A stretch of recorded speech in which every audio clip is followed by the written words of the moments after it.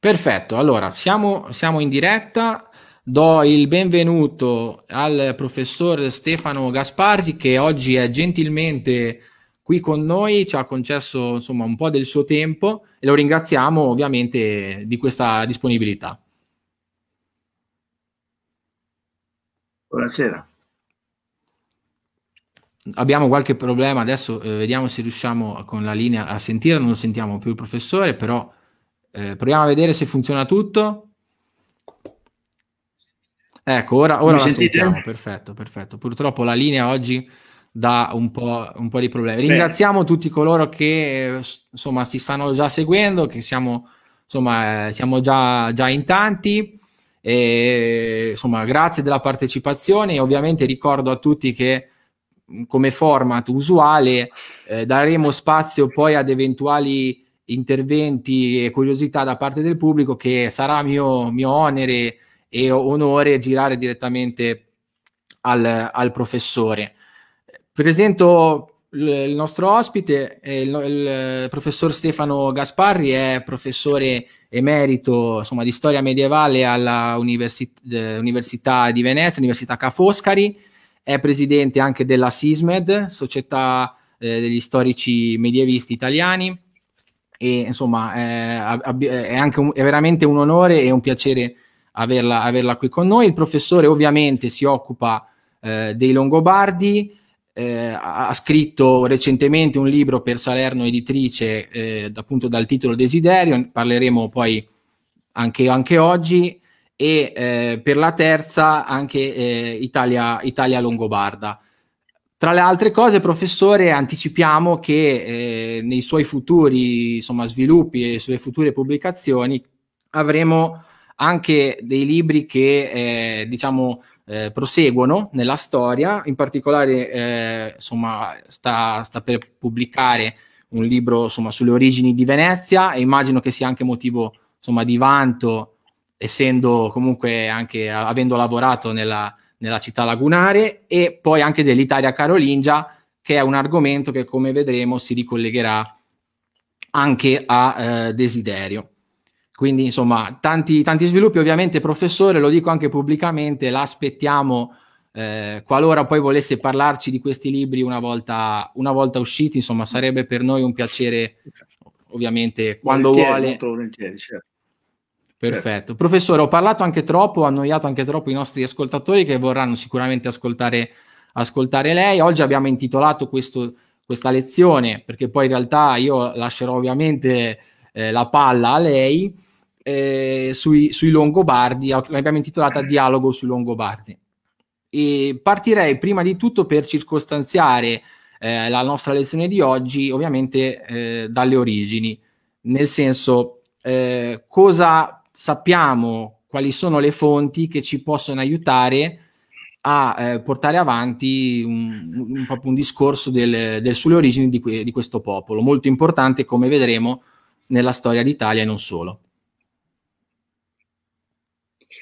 Dunque, eh, studiare le origini dei, dei, popoli barbarici è sempre una questione molto complessa, no? una questione di fonti. Eh, per i Longobardi abbiamo una, una, leggenda molto famosa, una saga, che racconta di, di questa partenza mitica dei Longobardi dalla Scandinavia, eh, Scandinavia che sarebbe stata sovraffollata, e quindi questi giovani guerrieri partono e non si chiamavano Longobardi, si chiamavano ancora Vinnili, nome, significato forse vittoriosi, guerrieri vittoriosi, non si sa, e questi, questi guerrieri iniziano una, un viaggio in cui incontrano diversi nemici, a un certo punto si trovano in grave difficoltà eh, contro i vandali e allora le, le, donne dei Longobardi chiedono aiuto a Frea, che è una dea, una dea scandinava, diciamo del Pantheon scandinavo, e Frea si rivolge a suo marito Wotan e eh, mostrando le donne che si erano, diciamo, travestite da guerriere, sciogliendosi i capelli, dice eh, dai la vittoria a questi Longobardi e lui appunto eh, dà la vittoria a questi eh, guerrieri che da quel momento in poi si chiameranno Longobardi. Questa è una bellissima leggenda, ma non ha un fondamento storico naturalmente, ci è raccontata da Paolo Diacono, che è lo storico dei Longobardi, e anche da un testo più antico, anonimo, del secolo VII. Ed è appunto una storia che è stata scritta in Italia, eh, intorno al 600, alla corte longobarda e che aveva lo scopo di mettere insieme materiali antichi, eh, storie mediterranee, a un certo punto del racconto compaiono anche le Amazzoni, per esempio, eh, per costruire un, un, diciamo una base identitaria a questa aristocrazia longobarda che aveva occupato l'Italia che era un gruppo estremamente misto. Quindi non ha un valore storico, ha un valore importante per i longobardi, perché ha costruito la loro identità, almeno di quella dell'aristocrazia, però non è un valore storico nel senso che non ci dice da dove sono venuti. E dobbiamo rinunciare, diciamo, a fare un collegamento così antico, perché si parlerebbe di, di, di storie di 600-700 anni prima de, dell'Italia. In realtà eh, le fonti che noi abbiamo sull'origine dei Longobardi sono fonti non, non, più antiche dell'età di Augusto Tiberio, sono fonti diciamo dei, degli autori eh, dell'impero e, ci parlano appunto di questo gruppo molto piccolo, molto feroce, di, di guerrieri molto feroci che compare, si scontra con i romani e poi però si inabissa nelle fonti per 300 anni per ricomparire eh, verso la metà del secolo V, intorno al 450. Quindi questo è un grosso problema, come, come tutti quanti possono capire. L'archeologia, qui sto parlando delle fonti scritte, l'archeologia eh, un tempo aiutava molto perché si diceva ma noi possiamo seguire il percorso di questi popoli perché hanno lasciato le loro tombe e quindi i corredi uguali vuol dire lo stesso popolo e così via. Oggi questa teoria eh, è smontata, nel senso che si pensa che i corredi non siano uno strumento utile per identificare un popolo, quindi non li possiamo più usare.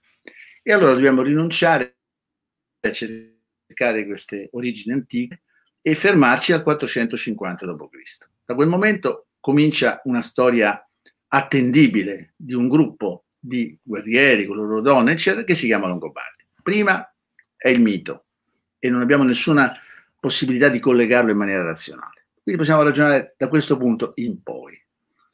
Perché questo punto è importante? Perché intorno al 450 nell'Europa centro-orientale crolla l'impero Unno e quindi si liberano una serie di forze, certo. di, di, gruppi barbarici e uno di questi è quello dei Longobardi. Questi Longobardi eh, appaiono agire nella zona del Danubio e sappiamo che ottengono una serie di vittorie e all'inizio del secolo VI, intorno al 510 e così via, entrano in quella che si chiama Pannonia, ovvero diciamo mh, mm, Ungheria, Slovenia, queste attuali. E da quel momento eh, entrano stabilmente nel grande gioco politico dell'impero d'Oriente. Aspetti professore che abbiamo un problema. Bizantino, quindi, però. In di questo abbiamo un problema audio, aspetti. Ecco, ora sì. abbiamo recuperato. Eh, no, no, mi scusi se l'ho interrotta. Mi dica eh, che cosa si, è perso. Eravamo, eravamo arri- no, arrivati al gioco. Si è perso, io posso dire. Perfetto, eravamo arrivati al. Insomma, ah, no, no, non ho detto molto. Non ho, no, non ho, però quando arrivavano nel gioco politico dell'impero i, i Longobardi oh. in seguito al crollo.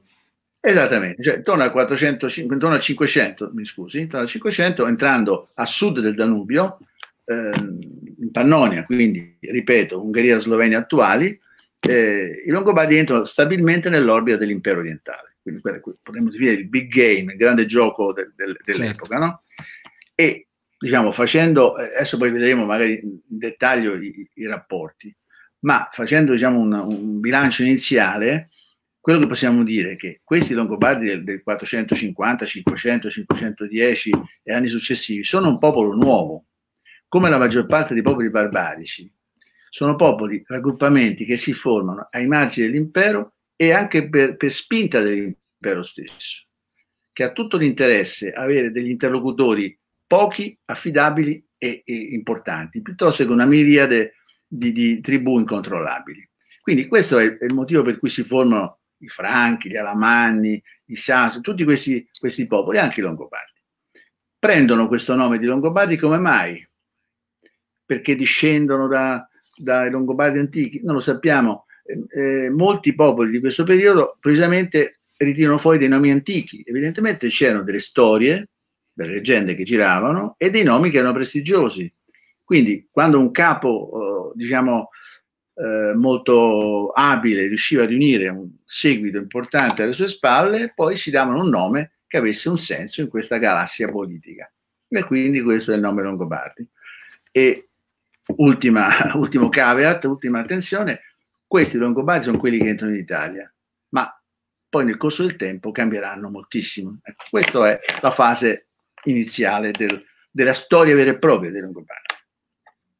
Perfetto. Eh, infatti, professore, eh, ricordo anche per tutti coloro che ci stanno seguendo che ci stiamo muovendo eh, sulla storia di questo popolo a cavallo tra la storia antica e la storia medievale nel famoso, insomma, nel famoso periodo denominato eh, tardo antichità.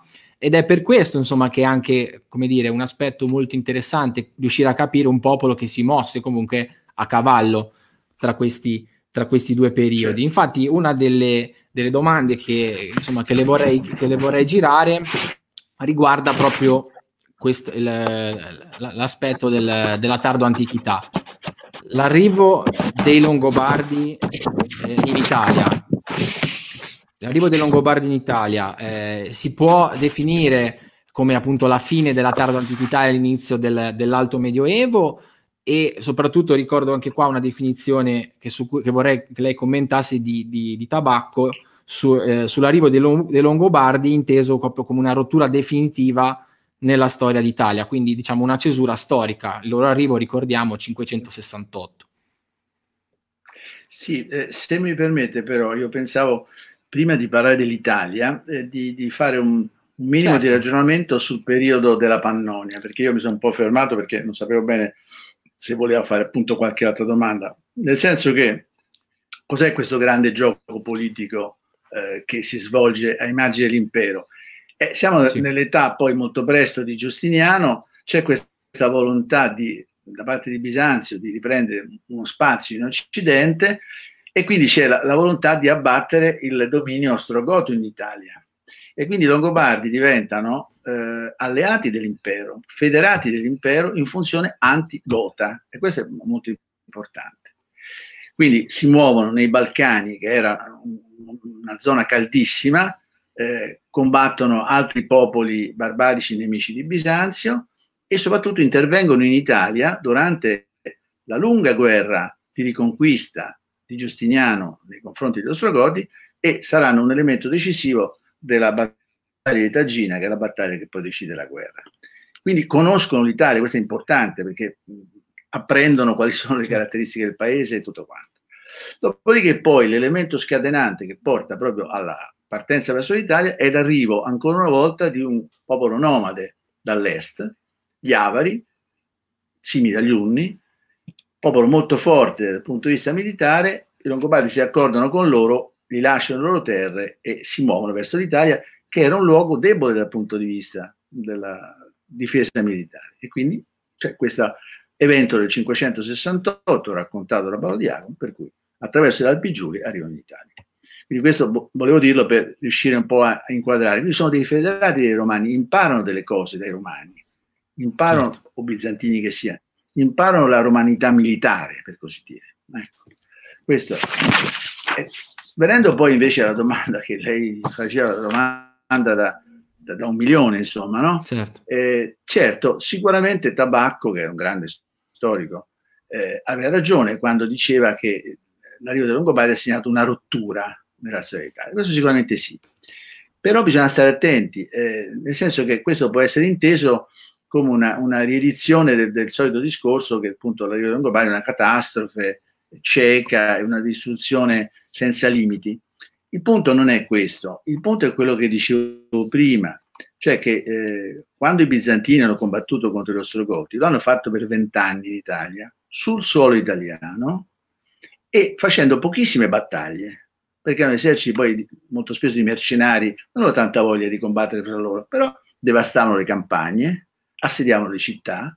Lei pensi che Roma è stata presa e ripersa tre volte sì. e una volta ci dice lo storico Procopio addirittura Roma rimase senza abitanti perché tutti scappavano in campagna per cercare da mangiare esagerazione naturalmente no? Certo. però così si dà l'idea di quanto l'Italia fosse prostrata e quindi eh, naturalmente anche la struttura statale si era indebolita grandemente, no? E bisogna anche pensare che il, il secolo VI, diciamo, eh, fine VI e così via, è anche il momento della grande peste, e oggi purtroppo insomma, la pandemia è tra di noi, è, ma la, la, è la più grande peste della tarda antichità è quella di questo periodo, che vuol dire crisi demografica molto certo. forte, indebolimento, eccetera, e in generale tutto il sistema degli scambi mediterranei, lo sappiamo oggi grazie agli archeologi, nel VI secolo trova il suo punto più basso. Quindi è chiaro che è un, eh, un, un paese che non riesce a reggere una invasione, perché a differenza degli Ostrogoti questa è un'invasione. C'è una, un'altra storia eh, secondo cui forse i Longobardi sarebbero stati invitati dal generalissimo bizantino Narsete. Io non credo che sia vero, ma eh, penso che sia una, una, storia inventata. Ma anche fosse vero, eh, Narsete li aveva invitati perché era in, in, rivolta nei confronti di Giustiniano, quindi comunque eh, quella dei Longobardi è un'invasione. È un'invasione che anche, eh, anche, in questo caso si trascina a lungo, perché i bizantini eh, sono così, così, abili che riescono a decapitare eh, diciamo, la, i Longobardi uccidendo ben due re uno dopo l'altro. Il famoso Alboino, il grande re eroe che fa la, la, l'iniziale conquista, e il suo successore. Quindi rimasti senza un capo, eh, generale unico, eh, quella dei longocomandanti, i duchi, è una guerra per bande, quindi anche, ancora una volta una guerra molto distruttiva per il territorio.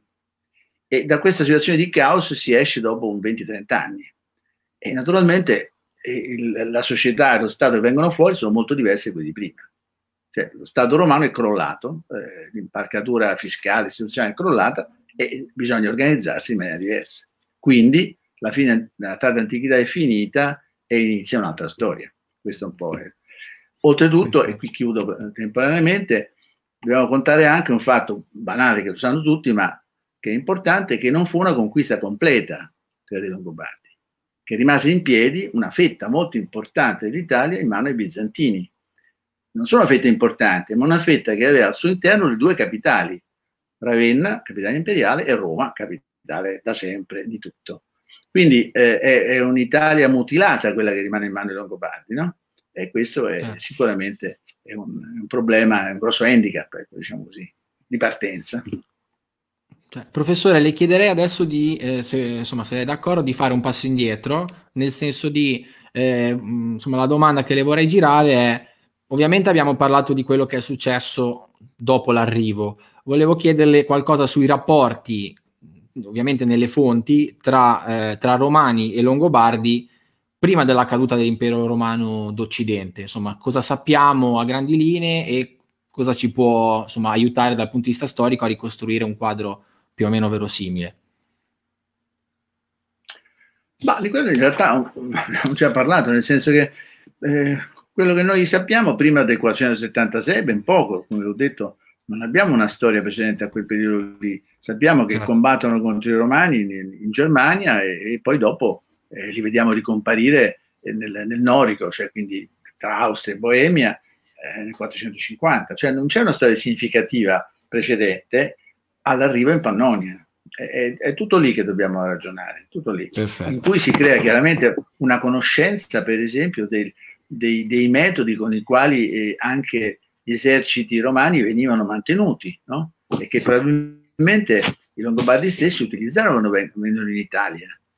Perché mh, mm, come si può mantenere la, la, questa gente che arriva, no? in qualche maniera? Se, sono, se si muovono come un esercito romano, possono fare come un esercito romano. Quando l'esercito romano arriva in una provincia, un terzo delle tasse o dei prodotti agricoli, eccetera, andava all'esercito stesso e probabilmente nei primi tempi diciamo, questa, questa, strumentazione militare, militare romana fu quella utilizzata dai Longobardi in una prima fase. Ecco. E poi pian piano, però il punto è che l'unica fonte di fatto di questo periodo è Paolo Diacono. Allora, Paolo Diacono, lo dico perché non ho ancora presentato, è invece il personaggio certo. principale. Paolo Diacono è un eh, longobardo del Friuli eh, che visse, diciamo così, nella, negli ultimi 50 anni del regno e, e, poi un po' più avanti fino all'età di Carlo Magno. E, e quindi lui scrive eh, questa storia dei Longobardi perché conosce la storia passata, lui è stato a corte, quindi evidentemente ha avuto accesso a archivi, a documenti, eccetera. Però lui scrive rispetto all'invasione a 200 anni di distanza. 200 anni sono un periodo molto lungo, eh certo. molto lungo soprattutto per la difficoltà di trasmissione delle notizie, eccetera. Per cui quello che lui ci racconta di questi primi tempi è attendibile fino a un certo punto. Lui riutilizza eh, autori precedenti mettendo insieme dei pezzi. Ci sono tre famosissimi capitoli di, di, di Paolo Diacono di cui Benedetto Croce diceva che erano stati commentati più dei passi dei Vangeli, no? più dei passi dei Vangeli, perché sono le uniche righe che ci dicono appunto qualcosa e che fanno riferimento a quello che dicevo prima, cioè al fatto questi sistemi del, del prelievo di un terzo, no? c'è questa parola mitica terzia che appare, però sono righe, sono cose copiate da, da fonti più antiche, quindi non dobbiamo iperinterpretarle, le prendiamo come ipotesi che il primo impatto sia stato eh, diciamo, fatto secondo gli schemi dell'esercito tardo antico, perché i Longobardi erano un pezzo dell'esercito tardo antico che a quel punto diciamo, lavorava per se stesso, non più per l'impero, detta in maniera molto rozza e così. No? Quindi questa è la cosa. E le condizioni del, dell'Italia di questo periodo, l'ho già detto, erano piuttosto dure. Eh, noi abbiamo uh, qui l'archeologia ci aiuta però parecchio, mm, ci aiutava meno per i sepolcreti, invece qui ci aiuta l'archeologia urbana che dagli anni 70 in poi ha cominciato a scavare nelle nostre città, eh, ci ha dato informazioni importanti, eh, con grande difficoltà perché le nostre città hanno avuto una continuità nel corso del tempo, non sono città abbandonate per cui si può scavare tranquillamente, sono città che sono sotto le città moderne. Eh, però ciò nonostante, utilizzando soprattutto i momenti in cui c'erano grandi lavori pubblici, una cosa classica le metropolitane, per esempio. Quindi si fa un grande sterro e si trova, si trova roba romana, ma si trova anche roba alto medievale. E questo ci ha consentito di descrivere, per esempio, eh, il fenomeno mh, della trasformazione della città nell'alto medioevo. Ci ha permesso, prima di tutto, di dire che non è vero l'immagine catastrofista per cui le città erano morte. Le città rimangono eh, i punti nevralgici dell'Italia longobarda, però certamente si riducono, eh, il loro abitato non è continuo, si parla di città ad isole per esempio, cioè isole abitate all'interno della città alternate a zone invece incolte, oppure diciamo addirittura coltivate, anzi ancora meglio. Eh, quindi la città ritratta, ecco questo, però la città esiste e questo è un dato molto importante eh, che ci dà un, un senso diciamo, di, di cos'era questo, questo, periodo. Più difficile naturalmente è eh, studiare le campagne, però anche lì sono stati studiati per esempio dalla, dai gruppi di archeologi toscani di Riccardo Francovic, hanno, hanno eh, studiato moltissimi insediamenti rurali, villaggi, eh, villaggi fortificati, hanno visto diciamo, quindi la, la persistenza di un abitato un pochino più rado, ma comunque vitale, e un abitato in cui probabilmente i, i padroni della terra ormai erano i membri dell'aristocrazia longobarda.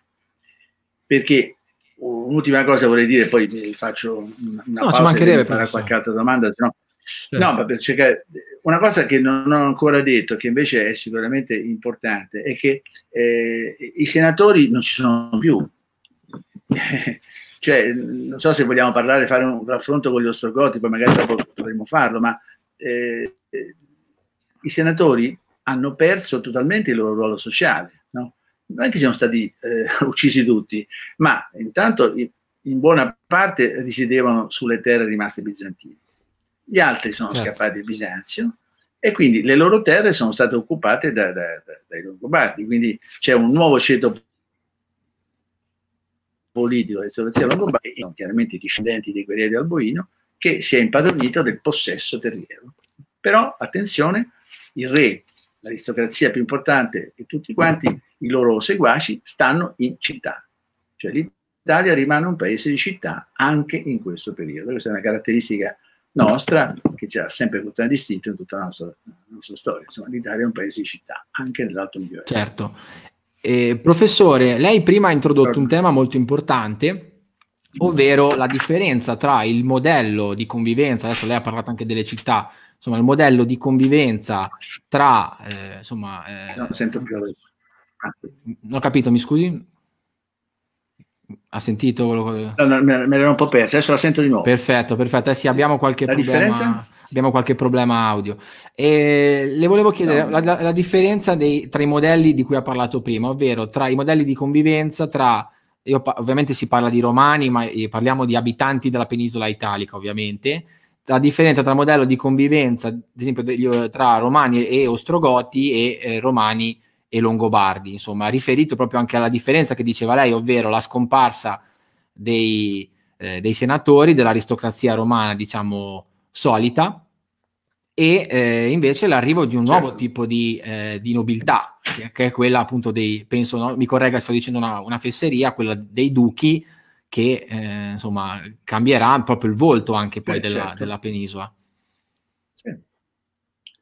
Ma sicuramente eh, il confronto è interessante, ma è un confronto anche impossibile, certo. perché diciamo eh, gli ostrogoti arrivavano in Italia eh, in accordo con l'imperatore, e trovano una società romana perfettamente funzionante. E quindi il, il loro scopo è, di, è, quello di difenderla, sostenerla e portarla avanti. Certo. A, questo, a, questo, fine Teoderico ha questa, questa, idea di mantenere diciamo, una differenziazione tra i Goti e gli altri, affidando ai Goti la funzione militare e ai Romani quella diciamo, amministrativa. Ma questa differenziazione non vuol dire separazione, nel senso che eh, il modello dell'Italia ostrogota è un modello romano, in cui gli ostrogoti sono l'esercito sostanzialmente, l'esercito che difende la romanità e, e quindi collabora con i senatori. No? E Teoderico va a Roma, dai giochi nel, nel circo, il, eh, diciamo, festeggia il suo, suo genero che diventa console, voglio dire, è tutto un mondo che è totalmente romano. E invece, certo. come ho detto, i Longobardi arrivano come invasori in un momento di crisi e devono fare da soli perché i, i, come si chiama, i senatori non, non, non, ci sono più e non collaborano. E allora è chiaro che il rapporto con i romani è diverso. La storiografia risorgimentale, eh, sulla spinta anche del Manzoni, eh, aveva parlato di questo asservimento generale dei, dei, romani, tutti i romani diventano servi dei Longobardi, cioè, è una cosa che non ha nessuna, nessun fondamento nelle, nelle fonti. Quello che è certo è che i Longobardi diventano padroni di buona parte delle terre e in alcuni casi avranno esercitato un'autorità, un potere su, eh, sui contadini, ma non perché diventino servi, ma perché diciamo, c'è un'egemonia di questa nuova aristocrazia, i duchi, ma non solo i duchi, che fonda sulla terra il suo potere. C'è questa, questa formula utilizzata da un storico importante che è Chris Wickham, che dice che durante il regno longobardo c'è il passaggio, lui dice, from tax to rent, cioè dalla tassazione, che era lo strumento con il quale lo Stato romano si manteneva e, e si eh, prolungava nel tempo, no? aveva le risorse per mantenere l'esercito, le capitali, eh, la burocrazia, eccetera. Questo non c'è più e quindi c'è la rendita, la rendita fondiaria. I Longobardi, l'aristocrazia longobarda, che ben presto comincia a fondersi con i romani, è la proprietà della terra, della maggior parte della terra eh, anche se bisogna dirlo che la piccola proprietà libera, contadina in Italia non scompare. Ecco, anche questa è una cosa da dire. Come possiamo conoscere qualcosa in più? Potremmo provare per esempio a, a utilizzare il, l'edito di Rotary per dire, come eh certo, fonte per parliamo. capire questi, questi fenomeni. Eh, quello purtroppo l'edito di Rotary è una, è una delusione secondo me. È una delusione perché è sostanzialmente un codice militare, un codice militare con pochissime cose che riguardano la vita diciamo, sociale e quella, eh, quello che dicono non è molto aggiornato all'Italia. Ecco. Eh, le, le, le, parti più interessanti sono semplicemente quelle che riguardano la eh, trasmissione della proprietà, nel senso la ereditarietà, no? E quelle che riguardano poi i problemi matrimoniali tra liberi, servi, eccetera. Bisogna considerare che il diritto di Rotary fu fatto, fu emanato in questo anno 643, che era un anno di guerra. il re Rotari si apprestava a fare una grande spedizione contro la Liguria che ancora era bizantina e che venne conquistata.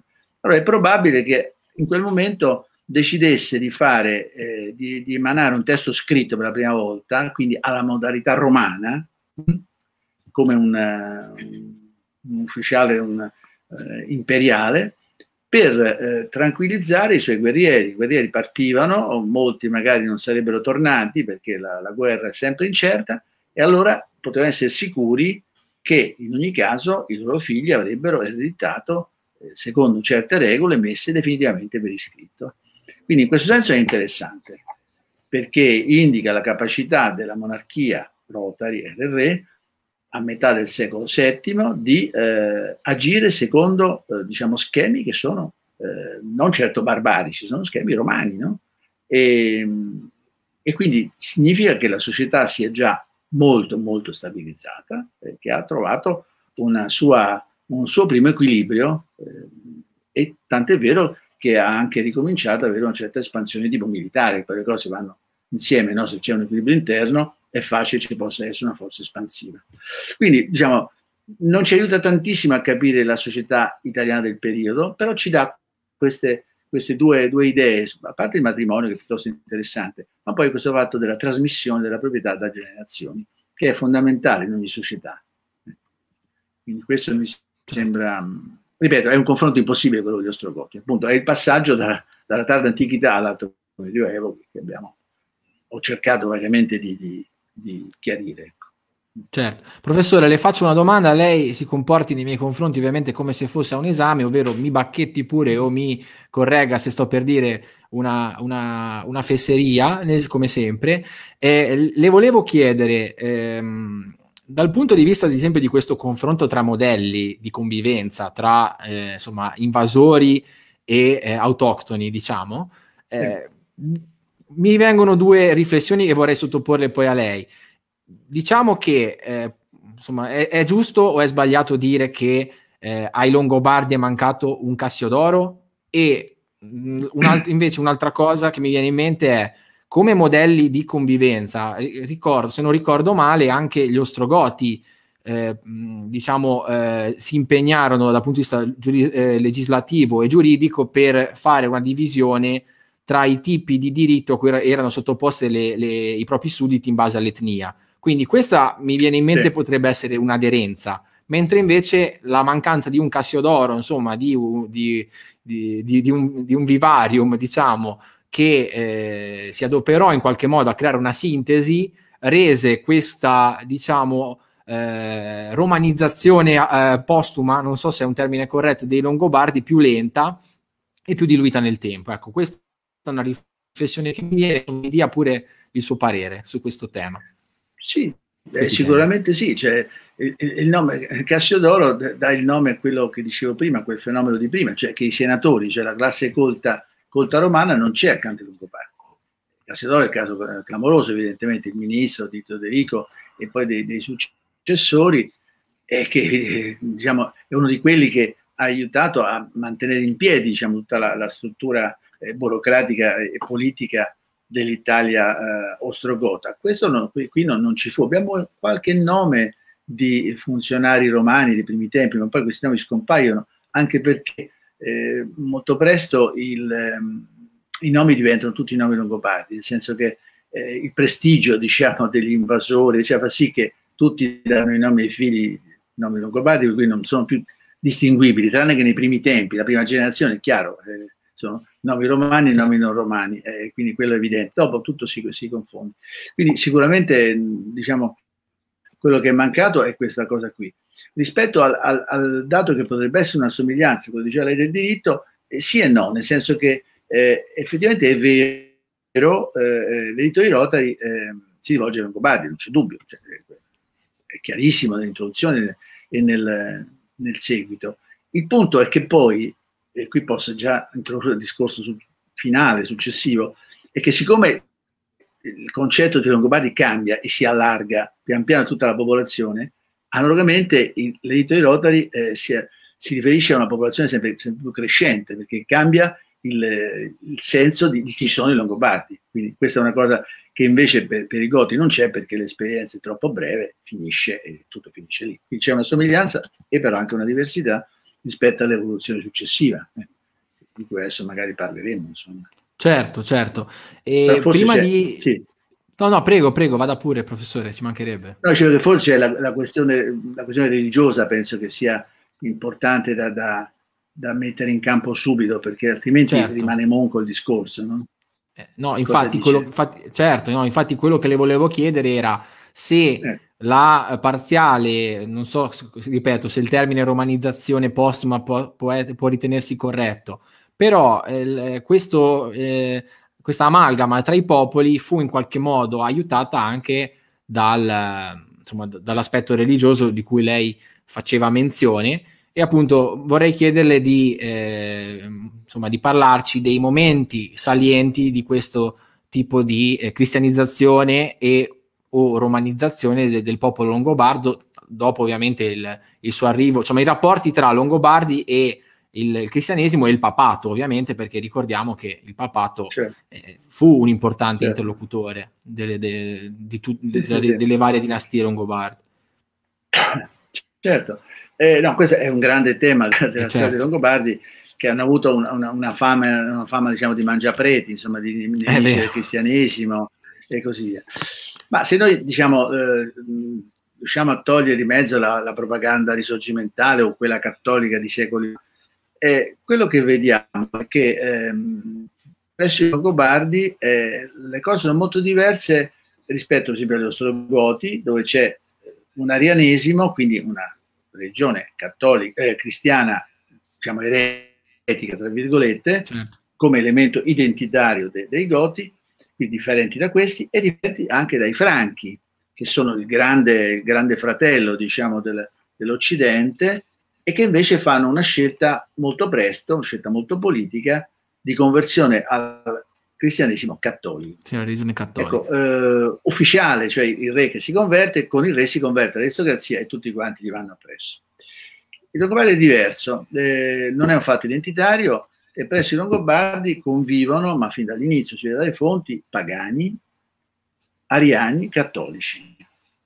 E la conversione che si attua è difficile da cogliere, per cui si è detto che sono stati lenti, ma sì, ma poi erano anche ambigui fino all'ultimo, ma chissà, cioè, semplicemente perché siccome non, non c'è nell'Italia longobarda a lungo, fino all'VIII secolo, non c'è una monarchia forte di tipo ereditario, allora anche le scelte religiose dei re erano scelte individuali, che non andavano, cioè se il re era eh, ariano, non è che tutti devono essere ariani, se il re era cattolico, sono stati re cattolici molto antichi, per esempio intorno al 600, non che tutti diventavano cattolici, come è successo appunto per i franchi o per i visigoti e così via. Quindi la conversione è un fatto strisciante, non c'è un atto famoso per dire nell'anno tal dei tali si riunisce una grande assemblea e dice siamo tutti cattolici. No, questo non c'è. A un certo punto, quando le fonti diventano abbastanza importanti, verso la fine del VII secolo, vediamo che sono cattolici. Ecco. E, e, gli ariani sono evaporati perché non, non hanno mai avuto una, una struttura eh, ecclesiastica sul territorio importante e così via. No? Eh, anche le prove del paganesimo sono pochissime, c'erano sicuramente dei pagani all'inizio, ma non, non c'è nessuna forma di persecuzione, cioè, potremmo dire tolleranza, potremmo dire che convivono diverse, diverse realtà e che la, la conversione probabilmente avviene dal basso, perché diciamo in Italia c'è una struttura ecclesiastica di chiese molto radicata e questa struttura evidentemente nel corso di alcuni decenni, diciamo di un secolo, per essere più chiari, ha operato una omogeneizzazione del, della religione dei nuovi e dei vecchi abitanti.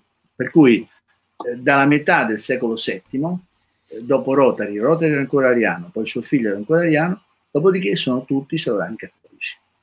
Cattolici che riuniscono concili, che collaborano con i vescovi e, e quindi diciamo i giochi sono fatti in qualche maniera. Ecco. Sono fatti cioè. abbastanza rapidamente. Quando noi li vediamo nelle fonti, la, la, fisionomia diventa rapidamente cattolica.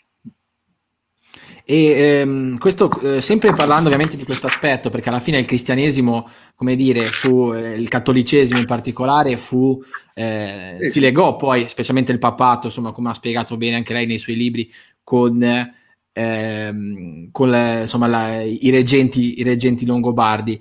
In questo, in questo, aspetto vorrei, professore, che parlassimo in particolare di tre, di, di, sì, di tre momenti del, di questo rapporto, ovvero innanzitutto il, il ruolo di, eh, di, Colombano, specialmente nella fase iniziale, Colombano insomma, eh, che di cui in Italia c'è un'ampia diffusione del culto anche a, a, livello, a livello, locale, ovviamente poi eh, successivamente di eh, insomma con Colombano anche il ruolo importante della regina eh, Teodolinda, quindi anche un ruolo anche insomma, importante de- de- delle donne in questo caso, e poi ovviamente il ruolo di Liutprando, perché insomma la donazione di Sutri è un momento importante della storia, oltre che del rapporto tra Longobardi e il papato, ma anche della storia d'Italia. Ecco, quali, quali sono diciamo, eh, gli aspetti particolari di questi momenti? E poi ovviamente lascio a lei se vuole aggiungere intanto anche qualche elemento sempre su questo rapporto. Sì, certo, Colombano è un personaggio importante, questo monaco irlandese che arriva in Italia e fonda sugli Appennini il eh, primo piacentino il monastero di Bobbio. Eh, gli irlandesi erano, diciamo, dei neoconvertiti in qualche modo da, da non molto tempo e erano esponenti di un, uh, di un cristianesimo monastico eh, molto rigoroso, e, e, e portano quindi questo lo, loro tipo di, di, di fede in, in, in, nel continente, nel Regno Franco e certo. in Italia. Per la natura stessa di, di questa, questa, regione, cioè dell'Irlanda, eh, i monaci irlandesi erano fortemente attirati da Roma, perché Roma era il luogo dove c'erano tesori di reliquie, le, i ricordi dei martiri, c'era la chiesa di San Pietro, c'era anche il Papa, ma attenzione, il Papa di questa epoca non è il capo della Chiesa, è un sacerdote molto molto importante e saranno proprio loro a, a aiutarlo ad aumentare questa importanza. Quindi quando uh, Colmano viene, viene in, in, Italia, intanto si reca alla corte e la corte longobarda gli dà la terra per costruire Bobbio, quindi c'è un legame tra il monaco irlandese e la corte. Dopodiché Colombano entra in, in, contatto con il Papa per i motivi che vi dicevo, per la sua fede eh, in San Pietro e, e, verso la città di Roma. E quindi si crea un rapporto triangolare che facilita il, il dialogo tra la corte e, e il, il, Papa di Roma, che poi è prima Gregorio Magno, poi dopo sarà Onorio e così via. Quindi questo è un, è un, momento, un momento, chiave. Eh, tant'è vero che Teodelinda, la regina, era cattolica, anche Agilulfo, secondo me, è chiaro che a un certo punto si converte pure, quindi c'è una possibilità di, di un dialogo.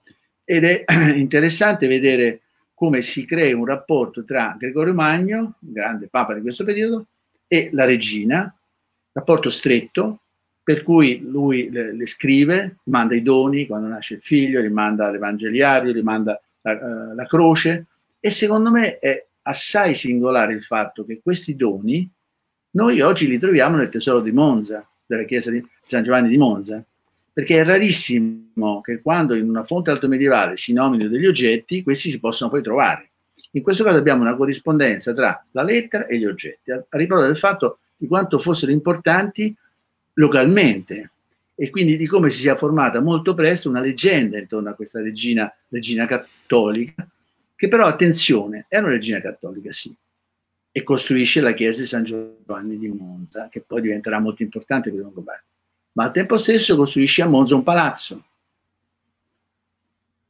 in cui trascorre il tempo, palazzo diciamo estivo, e in questo palazzo fa dipingere eh, delle storie dei, dei, Longobardi dell'epoca delle migrazioni, dei Longobardi pagani, come dice Paolo Diacono ce lo racconta, dice che questi guerrieri avevano la conciatura Udini, che è la conciatura pagana, quindi è una regina che è interessata al suo, alla storia del suo popolo e un'ipotesi di, di, di Walter Paul, grande studioso certo. di, di, questa, di queste eh, faccende, è che sia, la stessa Teodelinda ci fosse, fosse dietro la redazione scritta di quella leggenda da cui siamo partiti. che questa leggenda di, di Wotan e Freya sia stata scritta alla corte di Todelinda, che però era anche la regina in contatto con Gregorio Magno. Questo per dire che non abbiamo mai eh, diciamo, ragionare in termini bianco e nero, sono cose molto complicate, no? Quindi questa corte che si stava evolvendo, costruendo l'identità longobarda, al tempo stesso stava avvicinando fortemente al, al cristianesimo.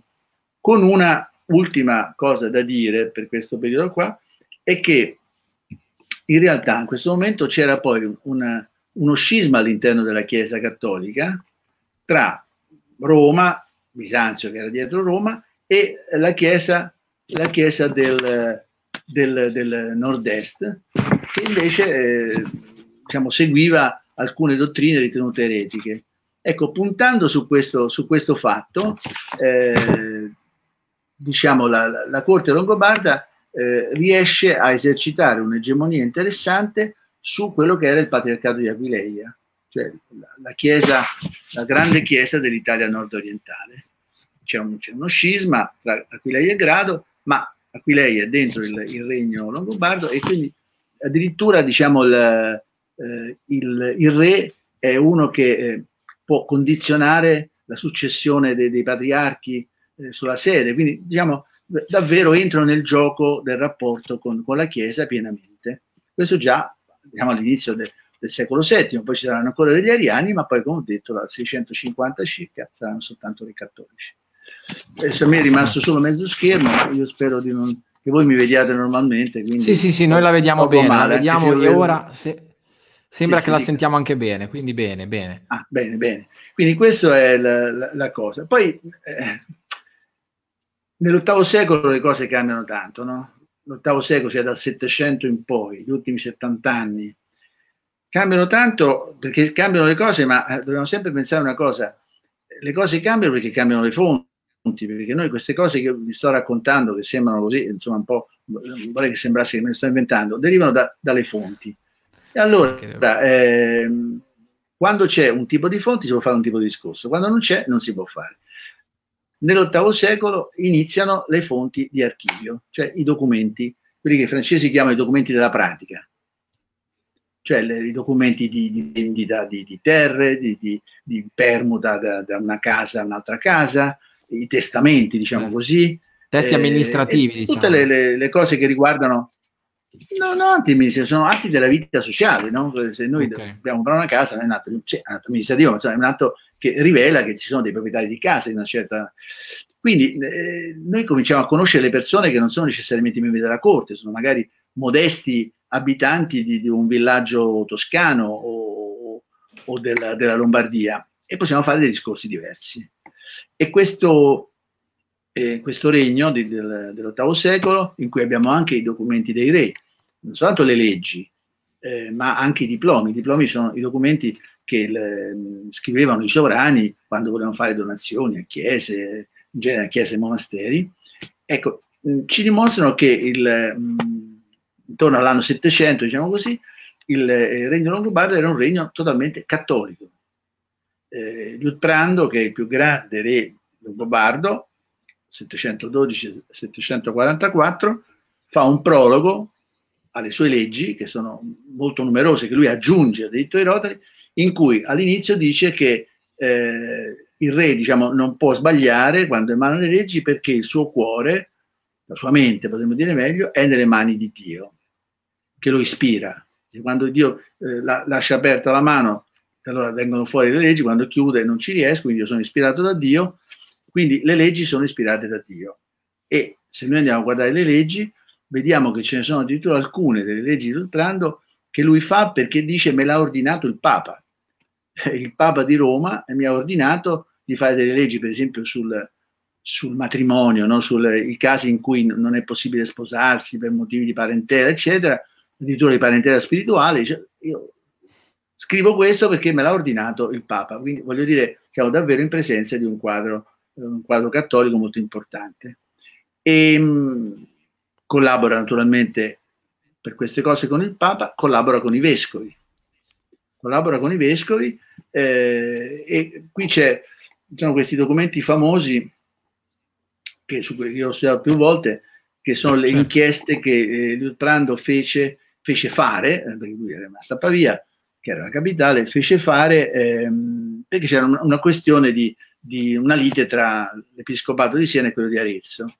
E si vede da queste inchieste, si vede benissimo che il sovrano da Pavia riesce a mandare delle, degli inviati che collaborando con i vescovi locali interrogano la popolazione e, e risolvono la questione. E questo ci fa vedere che c'è un regno diciamo, mo- perfettamente funzionante, con una gerarchia di ufficiali che collabora con, con, i vescovi che sono tutti esponenti dell'aristocrazia longobarda. E come si mette questo rispetto al rapporto con il Papa?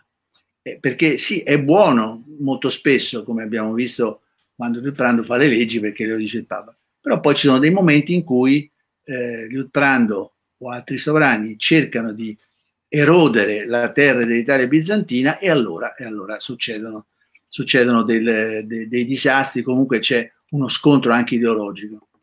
Sutri, per l'ultima, l'ultima cosa che lei diceva, Sutri.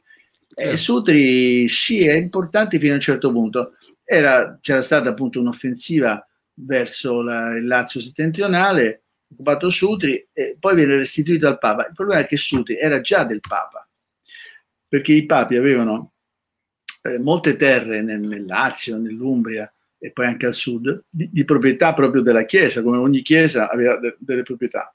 Il sud era già del Papa. Per cui non è, non è quella cosa così importante come si ritiene. Eh, non, è, non, è, l'inizio del, dello Stato pontificio, ecco. per, per, quello bisogna aspettare, bisogna aspettare i franchi, certamente no. Ecco, quindi diciamo, eh, siamo di fronte nel, negli ultimi 70 anni a un regno cattolico. Chi sono i Longobardi? Ultima cosa, chi sono i Longobardi di questo periodo? E I Longobardi sono gli uomini liberi che abitano nel regno, sono gli uomini liberi che vengono mobilitati dal re quando serve per combattere. E questo insomma lo vediamo benissimo dalle, dalle leggi. Gli uomini che hanno un certo tipo di, di ricchezza, che sono in grado di armarsi, gli uomini liberi, partono per l'esercito quando li richiama. E questi sono i Longobardi, che vivono la legge longobarda. Sono discendenti dei guerrieri d'Alboino, qualcuno sì, la maggior parte no, perché erano molto pochi, non sappiamo quanti erano, ma certo non erano tantissimi i, Longobardi, quindi rispetto alla popolazione italiana ormai erano sicuramente diciamo, sciolti nella popolazione i loro geni e, quindi eh, eh, i Longobardi sono questi, sono gli uomini liberi del regno. E i romani chi sono? Ultima, ultima cosa. Certo. Eh, intanto è interessante che nei documenti d'archivio, sono circa 300, poi ci sono anche altri mh, copiati più tardi, insomma, diciamo 500, eh, c'è solo una persona che si dice romana e che, e che abita al confine con le terre bizantine, una donna. Che significa questo? Significa appunto che all'interno del, del regno longobardo c'erano i liberi longobardi si chiamavano e i romani erano gli abitanti dell'Italia bizantina o di Roma città addirittura evidentemente. Perfetto aspetti professore che l'abbiamo un attimo persa vediamo se riusciamo a recuperare l'audio e il video ovviamente ci siamo un attimo bloccati ma andremo comunque avanti il ecco, professore mi dica ecco siamo no, tornati, no. perfetto. C'era sì, stato un bene. attimo di c'era stato un attimo di, di blocco. Certo, benissimo, mi dica. E niente, poi diamo spazio ovviamente a, a, alle tante domande. Professore, eh, una, vorrei prima di, di, procedere con l'ultimo blocco, diciamo, della nostra, della nostra intervista, eh, volevo chiederle un parere su questo a livello generale, poi proseguiamo ovviamente nel nostro dialogo sui Longobardi, eh, sul discorso delle, dell'eredità genetica, in qualche modo che è un discorso che nella, almeno io frequentando un po' anche gli ambienti social dove si parla di storia, spesso co- compare questo, questo dibattito no? Sul, sull'eredità e l'ascito, insomma, non solo dei, dei romani, ma poi anche di tutto quello che i regni romano-barbarici poi anche eh, lasciarono, ecco, si, si, parla sempre, eh, noi siamo gli eredi dei romani, ecco, questo glielo dico proprio molto, molto in maniera anche rozza, ecco, volevo chiederle, avere un suo parere sul fatto eh, se questo discorso dell'eredità culturale quanto diciamo è in realtà non sporcato perché sarebbe un termine sbagliato, però reso vario e spurio eh, dall'avvento di questi popoli, cioè nel senso questi popoli di cui abbiamo parlato, in particolare i Longobardi, ma abbiamo parlato anche degli Ostrogoti, hanno lasciato una traccia importante e diversa, se vogliamo, in qualche modo rispetto a quello che aveva lasciato l'impero romano, in questo caso d'Occidente? Ma dobbiamo distinguere diciamo, tra eredità genetica e eredità sì, culturale, certo. perché dal punto di vista genetico adesso ci sono tanti studi eh, anche di, di, colleghi stimati e importanti che vanno a cercare il DNA del, diciamo, del, dei Longobardi o di altri popoli. Il problema è che il DNA, il DNA antico è difficilissimo da, da, studiare perché si altera per il minimo contatto, non è più eh, valutabile, oltre ad essere costosissimo tra l'altro. Quindi dubito sì. che avremo almeno a tempi brevi delle notizie su questo punto. Al di là di questo, se noi ma- mandiamo il nostro DNA da analizzare da qualche società americana, si diranno che discendiamo da da un eschimese, da un, uh, da un bantu e così via. Ma il punto non è quello. Noi siamo, diciamo, i, i discendenti di quelli che sono venuti, eh, diciamo, nelle ultime generazioni e così via. E sicuramente gli italiani sono discendenti dei romani come dei longobardi, come dei ostrogoti, cioè siamo parte di una storia complessa. È proprio la, la, la ricchezza e l'incrociarsi di queste cose che, che fa di noi quello che, quello che siamo. Eh, è diciamo un'illusione del, del, del Rinascimento, poi del, della retorica successiva, che noi siamo, diciamo, direttamente dei, dei Romani. I Romani sono diversissimi da noi. Eh, gli studi attuali hanno dimostrato davvero quanto fosse diversa quella società, i, suoi valori e così via. Tantissimo ne abbiamo ricevuto, ma eh, abbiamo aggiunto anche altri, eh, diciamo, eredità più modeste, ma non vanno dimenticate. Noi siamo, siamo l'erede di una storia veramente ricchissima, e, e i Longobardi, come gli altri bardi, sono un pezzo di questa storia, non meno importante, ovviamente. Perfetto. Professore, ehm, voglio mostrare in camera il libro, perché adesso parliamo di desiderio, ovviamente, faccio vedere in favore di camera, spero si veda bene. Ah, certo. Abbiamo pubblicato anche la copertina, ovviamente. Siamo arrivati a parlare eh, in, in, ultimo, insomma, per quello che mi riguarda, poi le girerò qualche domanda dei nostri ascoltatori di questa figura che è importante e che ovviamente eh, è anche parte, diciamo, anche de- della storia, come dire, anche artistica e culturale, insomma, ricordiamo tutti l'opera eh, di la, la, Delchi, insomma, figlio di, di, di Desiderio, insomma, di, Manzoni, ecco. Professore, le vorrei chiedere, insomma, una panoramica su questo personaggio e in particolare, insomma, anche sul suo ruolo, se vogliamo, anche romantico, perché comunque eh, con lui ebbe, ebbe fine, insomma, la, eh, il, regno, la, il dominio longobardo in Italia. Ecco, vorrei farle, insomma, lasciare la parola per parlarci di desiderio brevemente. Sì. E questa, questa sì, sì, brevemente, così magari c'è spazio per le domande. Ecco, eh, una premessa eh, rapidissima, eh, prima di parlare di desiderio, è che eh, la fine del regno longobardo eh, non è dovuta a una, un motivo interno, come, come, ho detto prima, è un regno molto solido, molto importante. Deriva semplicemente dal fatto che nel momento in cui i, i re longobardi cercano di dare la spallata definitiva al, alle terre bizantine d'Italia, eh, si crea questo collegamento tra, tra, i papi che hanno questa, eh, diciamo, ormai tradizione di autonomia consolidata e i franchi, e l'intervento franco è quello, intervento militare e non c'è confronto militare tra franchi e, e longobardi. I franchi sono molto più forti militarmente sono abituati alla guerra stagionale sulla frontiera con la Germania e quindi è, è semplicemente una, una, sconfitta militare molto forte, eh, ma non dovuta ad una diciamo, debolezza del, del, regno. Tant'è vero che il regno italico diventa un pezzo, il regno longobardo diventa un pezzo importante del, del dominio franco, da cui i franchi impareranno moltissimo. E quindi questo, questa è una cosa sicuramente da, da sottolineare. Eh, Desiderio, eh, Desiderio è, è, un, è, un, re, diciamo, contraddittorio da un certo punto di vista, eh, perché diventa re ehm, con l'appoggio dei Franchi, dopo, dopo, che i Franchi avevano fatto già delle prime incursioni in Italia, e, e per 17 anni eh, riesce a, a, stare al potere in una situazione difficilissima, appunto, in cui c'è questo asse tra i papi e, e i franchi che lo mette continuamente in crisi, e alla fine eh, sarà di nuovo sconfitto da questa superiorità militare franca.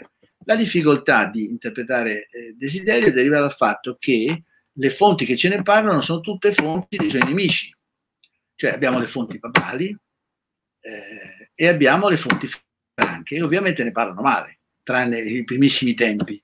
E quindi è difficile discernere diciamo, la propaganda dalla storia. Quindi è, è un'operazione così di, di, un po' molto, molto, molto difficile. E, oltretutto, anche le stesse eh, fonti babali sono dei momenti che ne parlano bene, momenti che ne parlano male. Per cui eh, io l'ho definito un re bifronte, no? Perché lo stesso Papa, Stefano III, lo definisce in certi momenti il mio caro figlio Desiderio, in altri momenti quel, quel disgraziato di Desiderio. Allora, qual è dei due la, la realtà, no? E noi abbiamo molta difficoltà a riuscire a attingere questo. Quello che, che capiamo, e poi appunto mi fermo e lascio, lascio uh, spazio alle domande, quello che noi capiamo è che Desiderio eh, fece una politica eh, dinastica, una politica familiare, cercò di, di, costruire una dinastia intorno anche ad una, ad una costruzione religiosa, il monastero di San Salvatore di Brescia, di cui abbiamo ancora delle parti di età di desiderio, poi il resto di età carolingia, e, e, intorno a suo figlio Adelchi, sul quale lui eh, spese, spese molto. No? Adelchi era definito nel, nei diplomi la, la, speranza dei Longobardi, la speranza di, di, una dinastia che poi in realtà si interrompe. Quindi è un sovrano, eh, la, la, regina Ansia è una regina molto importante, probabilmente la più ricca di lui come famiglia, e sostenne molto questa operazione. Cioè, quindi è una politica familiare che viene sconfitta diciamo, dalla, dalla, dall'alleanza franco-franco-papale. Alleanza franco-papale che però ha lasciato spazio in certi momenti anche ad un'alleanza con desiderio. La storia della cosiddetta Ermengarda di Manzoni eh, è la storia di un matrimonio che poi è stato a lungo negato da, dalle fonti papali, matrimonio che ci fu tra la figlia di Desiderio e Carlo Magno, figlia di Desiderio di cui non conosciamo il nome però perché Ermengarda si era inventato il Manzoni, come disse lui stesso. E perché non lo conosciamo? Perché su questa alleanza, che poi è abortita, è, calata la scure della damnatio memoria, cioè del fatto che non si poteva dire che c'era stato un momento che ci si era alleati, perché Desiderio era un perfido nemico della Chiesa, capito? un selvaggio pagano. In realtà era un piore che eh, così è descritto da, dalle fonti magari tarde, che avrebbe passato gli ultimi anni della sua vita in Francia, nel monastero di Corbie. Quanto ad Adelchi, e poi mi fermo davvero, ehm, ci sono due Adelchi, no? Uno che è un po' simile a quello di Manzoni, eh, l'eroe che combatte no? fino alla fine, eccetera. E questo ci è raccontato da fonti tarde. Poi c'è Adelchi, probabilmente eh, è quello vero, è uno che non diventa mai grande sostanzialmente, sta sempre all'ombra del padre e l'unica cosa che fa è, quando arriva Carlo Magno, si chiude dentro Verona e quando, quando Carlo arriva sotto Verona, lui gli chi, eh, diciamo, i nipoti con la loro madre, che erano pericolosissimi per Carlo perché potevano aspirare al regno al posto suo. Gli cede questi, questi principi franchi, di cui non sappiamo che fine fanno, non vogliamo nemmeno saperlo, e, e poi va via, cioè ottiene un salvacondotto per andarsene, per scappare. Questa è l'unica cosa effettiva, vera che sappiamo di Adelchi. Quindi c'è un Adelchi storico e un Adelchi leggendario ancora una volta. Sono personaggi molto difficili da cogliere, ma insomma io ci ho provato e chissà, forse qualcosa ho trovato nel libro, adesso è troppo complicato entrare nei particolari, è solo per dare un'idea della duplicità insomma, delle, delle fonti e dei loro risultati. Certo, quindi ha, detto bene professore, quindi rimandiamo al libro Desiderio del professor Stefano Gasparri, edito da Salerno Editrice e mi permetta anche di mostrare altrettanto insomma importante l'Italia Longobarda edito da La Terza che insomma su, per approfondire tutti questi temi che abbiamo cercato insomma di, di, di trattare oggi e ovviamente per, eh, nel, nel, tempo che, che, che, abbiamo. Però i libri sono ovviamente il, quello a cui bisogna fare riferimento per approfondire questi temi. Allora vado con le domande, quindi invito tutti coloro, ne avete già fatte tante, vi, ring- vi ringraziamo ovviamente, eh, invito tutti quelli che hanno fatto delle domande a condensarle il più possibile in un'unica domanda in modo da dare adeguato spazio a tutti. Partiamo da quelle più, da quelle iniziali, io le, le metto in sovrimpressione, professore, poi eh, le lascio leggere a lei e rispondere lei. Questa è la prima domanda, il nostro ascoltatore. Cosa ne pensa professore della guerra greco-gotica? Ha avuto o meno conseguenze nefaste per l'Italia? Ma questo mi sembra che l'abbiamo poi detto, forse sì. la domanda è arrivata prima, prima, che ne parlassi, una domanda più certo. che giusta, e la risposta è affermativa, ovviamente, abbiamo già detto, no? di questi vent'anni di guerra, di devastazione, eh, di, di, saccheggi e così via. Certamente è stato un momento, uh, un momento clou di questo passaggio dal tardo antico all'alto medioevo, non c'è dubbio. Insomma. Perfetto. Ripeto, anche perché il periodo poi della, della, della peste, oggi abbiamo trovato l'archeologia che è molto più avanzata in un tempo, prove della, della eh, efficacia mh, nefasta di questa, di questa, peste in tutta l'area mediterranea, anche in Italia, quindi sa, sono, fatti, sono fatti importanti. Insomma. Eh. Certo. Passiamo alla seconda domanda, eccola qua. Dice, volevo chiedere al professore come venne divisa fra i Longobardi la grande proprietà terriera romana e in generale come occuparono le terre occupate. Grazie anche lì diciamo, i meccanismi noi non possiamo saperli. Quello che è certo è che i Longobardi occuparono tutte le terre diciamo, imperiali. Contate che in Italia eh, diciamo, il fisco imperiale aveva delle enormi proprietà e queste diciamo, sono, sono, chiaramente proprietà su cui loro misero, misero le mani. Poi eh, le terre dei senatori. I senatori risiedevano prevalentemente nell'Italia centro-meridionale, a Roma e in Sicilia, in Campania e, e quindi le loro terre non avevano dei erano proprietari assenti, diciamo, e anche queste terre sicuramente sono occupate. Dopodiché, eh, come vennero divise tra i capi e gli altri, non sappiamo. Quello che sappiamo è che, eh, come dicevo all'inizio, probabilmente un terzo del, dei prodotti de, de, della terra de, di una certa regione andarono agli occupanti e poi eh, probabilmente mh, questo si trasformò pian piano in proprietà piena. Questo possiamo, I meccanismi più specifici non li possiamo sapere. A un certo punto, eh, quando la monarchia con Autari alla fine del VI secolo fu abbastanza forte, una parte di queste terre che erano state occupate anche in maniera autonoma e disordinata dai vari duchi fu concessa al re e quindi anche il re Longobardo, come già l'imperatore, diventò un grande proprietario terriero. Di più è difficile dire. Certo, ovviamente abbiamo sempre il problema che per, specialmente per la storia antica, ma anche per quella tardo antica e alto medievale, le fonti sono spesso, eh, come dire, certo. vanno contestualizzate e mancano anche supporti, poi come ha detto anche lei, archeologici e tutto, que- tutto il resto. Insomma. Poi anche dal punto di vista sociale e economico è difficile eh, insomma, eh, noi dobbiamo basarci, come abbiamo sempre detto, su, sulle fonti che, che, poi ci danno un quadro. Eh, questa domanda gliela giro, sempre un nostro ascoltatore, dice non furono distrutte le città? Roma rese, resa deserta perché non c'era più da mangiare. Le città, chiamiamole così, che non esistono in modo continuo, che esistono ad isole e che contengono campi coltivati e quindi non si distinguono nettamente dalle campagne, possono veramente essere dette città?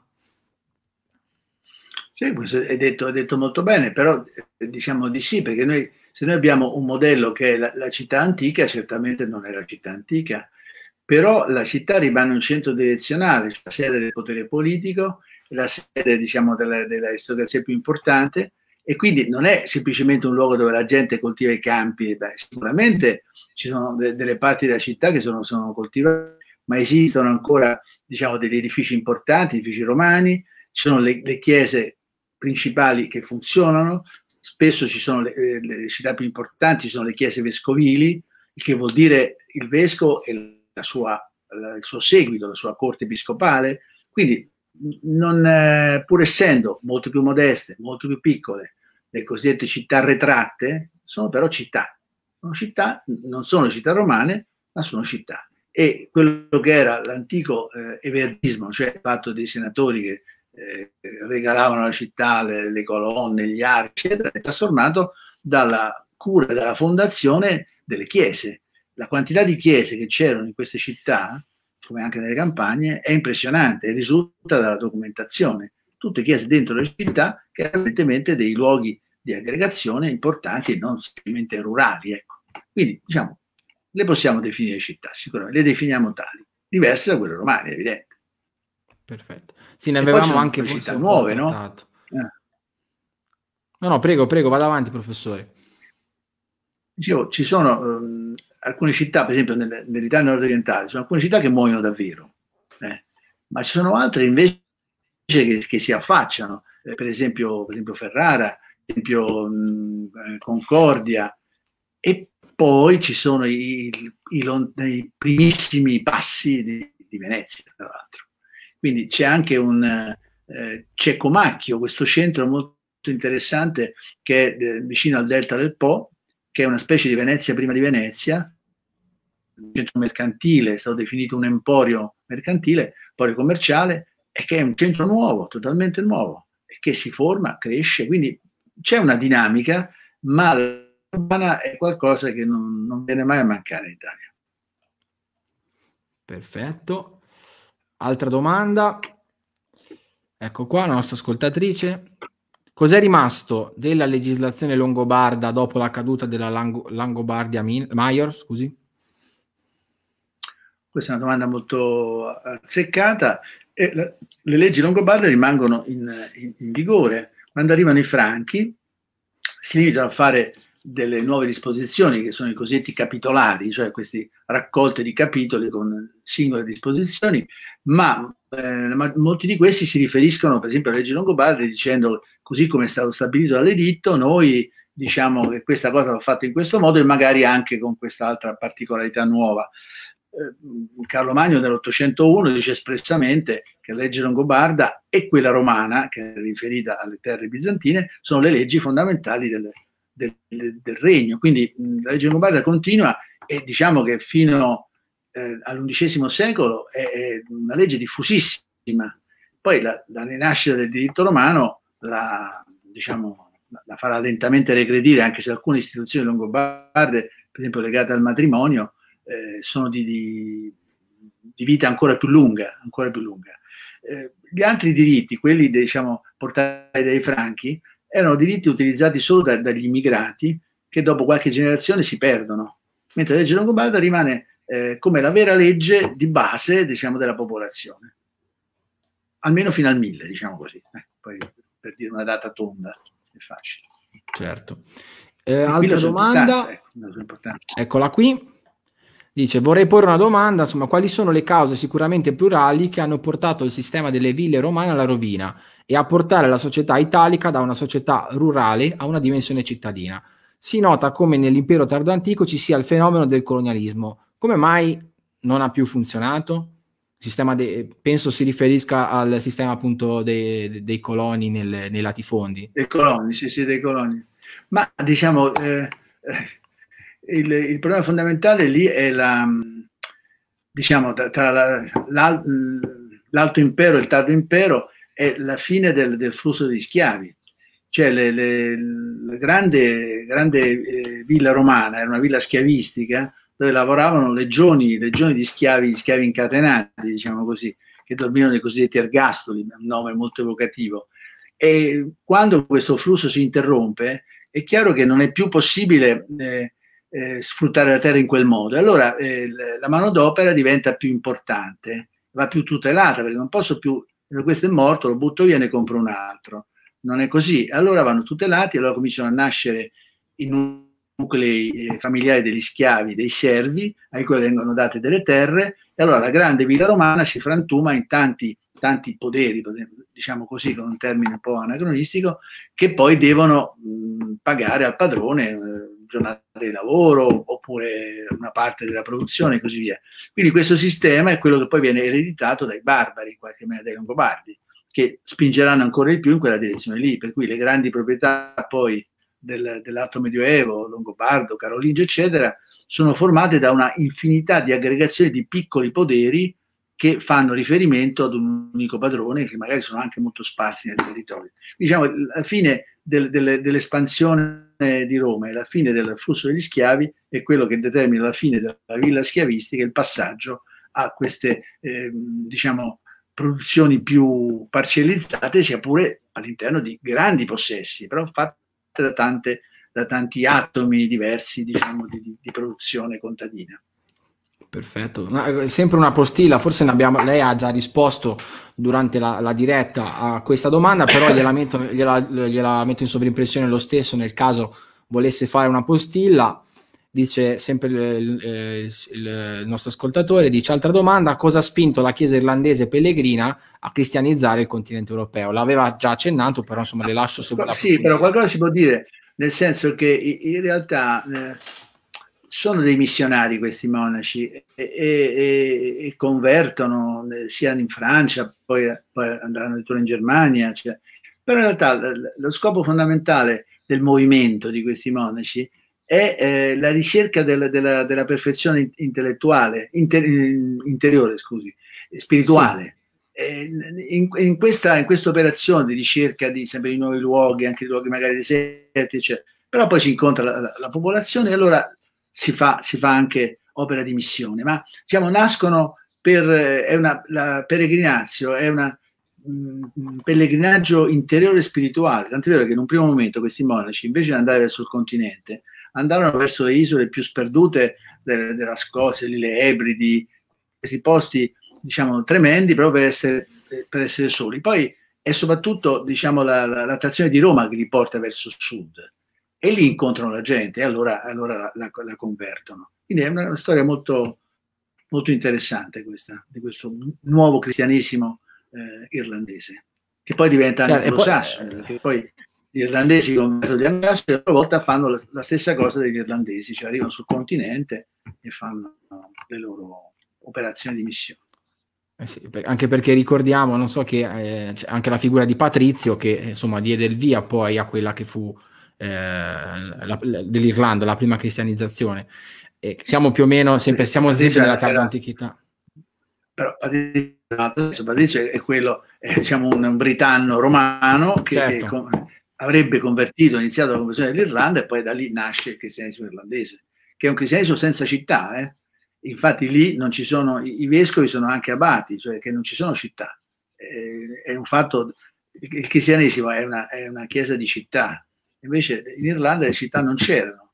Quindi da qui tutta la natura particolare di questo cristianesimo, insomma, affascinante. Certo, aggiungo solo che è anche una, un tema che lei ha trattato nelle sue pubblicazioni, ovvero che, che, è proprio quello che ha detto adesso, ovvero che diciamo, se vogliamo così, sempre andare un po' con l'accetta che il cristianesimo continentale si sviluppò attorno alla figura del vescovo, al fatto che in qualche modo supplia al vuoto amministrativo che si creò certo. col crollo delle, insomma, delle strutture amministrative romane mentre invece, come diceva lei, la particolarità di quello irlandese era che era più invece legato ai monasteri e esatto. eh, al di fuori esatto. delle città. Ecco, sì, sì. Certo. Era un tema che volevo precisare, dato che lei appunto l'ha trattato. fatto che i monaci irlandesi eh, parlavano gaelico e quindi certo. eh, dovevano imparare il, il, latino per poter leggere i libri sacri. E quindi per imparare il latino aveva bisogno di libri su cui impararlo. E questi libri dove stavano? A sud, nel Regno Franco, ma ancora più in Italia, ancora più a Roma. E per questo c'è questo flusso, no? È anche un fatto proprio pratico. Devono imparare la lingua che dà loro accesso, che dia loro accesso ai libri sacri. Quindi questo collegamento con Roma, che è un, un bacino di libri che ci sono, che possono essere copiati, inesauribile, e quindi da qui il fascino e l'importanza di Roma che cresce nei loro confronti. Perfetto. Eh, abbiamo ancora tante domande, cerco di, cerco di fargliele tutte, insomma, anche per ringraziare coloro che ci stanno seguendo. Eh, allora, ecco qua, eh, dice eh, questo nostro, ancora, ancora il signor Bognetti, dice, no, non furono distrutte... No, no, eh, sì, già, già, risposto. Sì, è vero, scusi, ho sbagliato. Perché, sì, perché era successiva, eccola qua.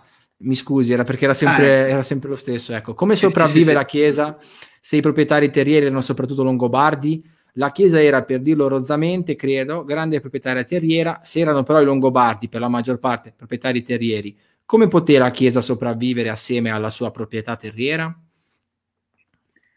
Non c'è nessuna contraddizione, eh, sicuramente, come dicevo, i, i longobardi diventano proprietari terrieri insieme anche alla popolazione precedente che non era certo scomparsa. E, e la Chiesa mantiene le sue proprietà, non c'è nessuna nessuna vicenda di, di, di confisca o altro di, di, terre. E tranne forse nei primi tempi sarà anche successo, ma non ne abbiamo notizie nelle fonti. E successivamente nel VII-VIII secolo le chiese, a partire dall'VIII secolo soprattutto, le chiese eh, ricevono tantissime donazioni di terre da parte dei proprietari longobardi. C'è questa formula che si chiama del documento le donazioni per la salvezza dell'anima, donazioni pro anima, in punto di morte o anche in previsione di una morte lontana, tanti proprietari cedevano le loro terre alle chiese dove c'era un santo di cui erano particolarmente devoti e così via. Quindi in questa maniera, soprattutto nell'ottavo secolo, le proprietà della Chiesa aumentarono enormemente, così come poi continuarono ad aumentare nei secoli successivi e la Chiesa, o meglio le chiese, perché è meglio parlare al plurale, erano le, le maggiori proprietarie terriere dell'Occidente, non solo dell'Italia. Quindi non c'è nessuna contraddizione. Perfetto. E questo nostro ascoltatore invece le chiede eh, un interesse particolare, dice eh, ho un, inter- un, interesse particolare per le vicende del patriarcato di grado. Se professore potrebbe dare qualche indicazione bibliografica su tale argomento, soprattutto in relazione alle vicende che ne causarono la creazione in contrapposizione a quello di Aquileia e in parallelo ai rapporti fra Bizantini e Longobardi nell'Alto Adriatico. Grazie ovviamente. Ma diciamo, un'indicazione probabilmente bibliografica, se vuole mi può anche scrivere, la mia mail è quella istituzionale dell'università, io scrivo volentieri. Eh, la cosa interessante è appunto che all'inizio del, del VII secolo c'è una, una spaccatura diciamo, di questo eh, patriarcato di Aquileia, eh, contate che in questo periodo eh, in tutta Italia c'erano tre soltanto di diciamo, arcivescovati, il, il papato, eh, Aquileia e Milano. Poi dopo arriverà anche, anche Ravenna per il suo ruolo politico, per il momento non c'era. Quindi è una frattura quella di Aquileia nel 608, una cosa così, molto traumatica, e la cosa interessante è che nasce Grado che è invece nella terra ancora rimasta bizantina, perché Grado è, è in laguna. E Grado poi eh, la, la, chiesa di Venezia, insomma, il, il, centro del il capo, il vertice meglio della, della, chiesa, della chiesa veneziana. Quindi questo scisma non si ricomporrà, eh, ricomporrà più. Uno che, che ha studiato, anch'io ho studiato tanti, tanti lavori diversi in questo tema, un altro che ha studiato è Claudio Azzara, eh, può cercare i suoi lavori se vuole, eh, ha scritto anche dei, mh, abbastanza libri con, con, il mulino che sono anche in, in, libreria, quindi tra le cose che ho scritto io le troverà anche in quel libro Italia Longobarda che è stato citato, oppure i libri di Azzara, può già trovare un'indicazione. Perfetto. Proseguiamo, proseguiamo. Ecco qua. Dice eh, buonasera e complimenti per la conferenza, quindi eh, ringraziamo ovviamente anche dei, dei, dei complimenti. Eh, vorrei fare una domanda, se lo Stato era interamente cattolico tra 712 e 744, tant'è che il sovrano scrive le leggi che erano ispirate da Dio, erano gli arcivescovi che amministravano la giustizia nelle città e nei diversi territori? Territori? Eh, dunque, intanto, come ho detto, gli arcivescovi erano pochissimi, casomai i vescovi. Eh, però no, eh, questa è una domanda però interessante perché ehm, è molto diverso tra il, il periodo longobardo e quello franco. Eh, sarebbe anacronistico definire laico longobardo, non è così. Però certamente in età longobarda i vescovi non hanno nessuna funzione politica esplicita. Sono importanti, collaborano tante volte appunto con i funzionari pubblici, come quelle inchieste di cui parlavo, ma non hanno una, una delega pubblica queste ce l'avranno in età carolingia, eh, da Carlo Magno in poi, insomma, e con l'arrivo dei Franchi. E questa è la più grande differenza col periodo successivo, perché per il resto, diciamo, la struttura dello Stato longobardo in età carolingia rimane uguale. L'unica differenza è questa, che i vescovi assumono un ruolo direttamente politico accanto ai funzionari pubblici. E quindi eh, si comincia a realizzare quella mescolanza tra eh, laico ed ecclesiastico nella gestione del potere che poi avrà conseguenze nei secoli successivi. Quindi il fatto che sia una monarchia cattolica, lo Stato cattolico è una definizione troppo moderna, una monarchia cattolica non vuol dire che i vescovi dovessero amministrare la giustizia, così non era. Perfetto. Domanda successiva. Dice, le donazioni pro anima possono essere viste anche, possono essere viste anche come un tentativo longobardo di aderire al tessuto romano precedente? Fare vedere quindi tramite la Chiesa di essere nuovi romani, non bizantini e non veri e propri invasori?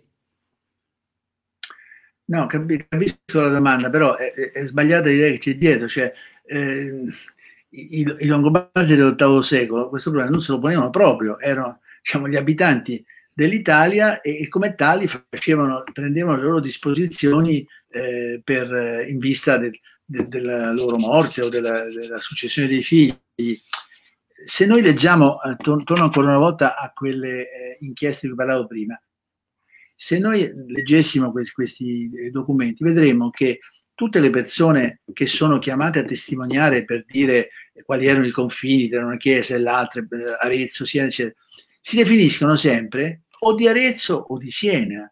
Nessuno di loro si pensa che io sono longobardo. Mm, cioè, sono semplicemente gli abitanti del regno. Perché dovrebbero essere preoccupati di essere gli invasori?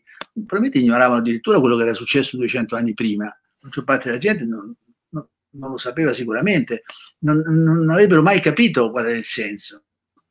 E per completare il discorso, eh, uno di questi, eh, queste donazioni, questi testamenti che, c'è, che ci è rimasto, è opera di un vescovo, importante vescovo di Lucca, Valprando si chiamava, il quale fa testamento perché parte per la guerra, notate diciamo, un po' eh, la stranezza dei nostri occhi, ma quale guerra va, andava a fare? La guerra contro i franchi, contro i franchi alleati dei papi, ma lui tranquillamente, essendo il vescovo di Lucca, di una famiglia aristocratica di Lucca, andava a difendere il suo regno contro gli invasori. Non è che diceva, ma no, noi siamo longobardi, abbiamo invaso l'Italia, quindi abbiamo de- un peccato originale. Non, non, è, non, è, non è, questo. Le azioni pro anima sono la prova semplicemente della cristianizzazione della società e del fatto che gli enti ecclesiastici, chiese e monasteri erano sempre più importanti, dei punti di riferimento sempre più importanti. Perfetto.